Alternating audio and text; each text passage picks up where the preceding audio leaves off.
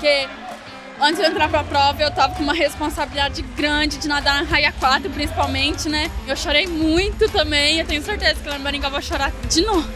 A pressão que a gente sofre aqui, é muito, né? Então a sensação de subir no pódio é um alívio, sabe? Tira o peso assim do ombro, é um alívio total.